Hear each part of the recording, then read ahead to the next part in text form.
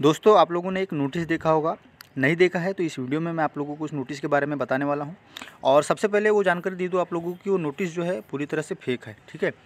सोलह तारीख के बाद एसएससी की जो साइट है उस पर कोई भी अपडेट नहीं है। यहाँ पर आप देख सकते हैं, सोलह तारीख को ही आपकी दोबारा जो वैकेंसी बढ़ाई गई थी, उसकी जानकारी दी गई है, ठीक है? और यहाँ पर सोलह तारीख को आपका जो है ये एसएससी सीएचएसएल की जो आपकी वैकेंसी उसके बारे में जो 2017 वाली है, उसके बारे में बताया गया है, ठीक है? वो नोटिस में क्या कुछ बातें हैं, उसके बारे में देख लेते हैं थोड़ी सी जानकारी।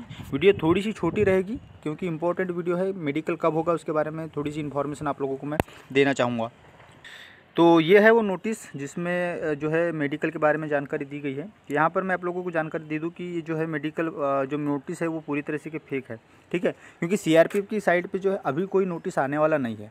कब तक नोटिस नहीं आएगा? जब तक एसएससी जो है आपका रिज़ल्ट जारी नहीं करेगा। मतलब जो आपका फ़िज़िकल हुआ है जो फ़िज़िकल पास कैंडिडेट की जो लिस्ट है, वो जारी करेगा सबसे पहले एसएससी अगर कोई अपडेट आती है मेडिकल से संबंधित तो वो आएगी एसएससी की ऑफिशियल साइट पे, है ना?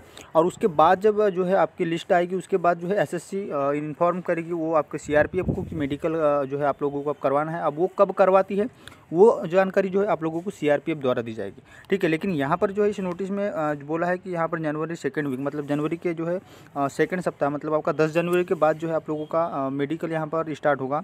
और एडमिट कार्ड की अगर यहाँ पर बात करें तो आपका जो है जनवरी 2020 मतलब आप लोगों का फ़र्स्ट वीक में जो है यहाँ पर जो आपका एडमिट कार्ड है वो जारी होने की यहाँ पर बात बोल, जा रही है, ठीक है?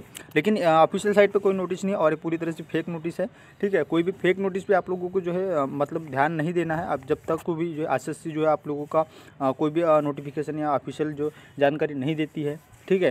तो सबसे पहले एसएससी की साइट पे आपकी जानकारी अपलोड होगी, जो भी मेडिकल से संबंधित डेट होगी, ठीक है? उसके बाद जो है आप लोगों का सीआरपीएफ जो है जारी करेगा, ठीक है? तो ये पूरी तरीके से फेक है। अगर सही है तो अच्छी बात है, आप लोगों का मेडिकल होना चाहिए। जनवरी की फ़र्स्ट वीक में या फिर मतलब जितने जल्दी स्टार्ट हो, उतना अच्छा होगा, ठीक है? तो जानकारी अच्छी लगी कि चैनल पर नए हो तो सब्सक्राइब कर लीजिएगा। सही जानकारी पाने के लिए पल पल के अपडेट मैं आप लोगों तक पहुँचाते रहता हूँ। मिलता हूँ अगली वीडियो के साथ, तब तक के लिए जय हिंद, वंदे मातरम।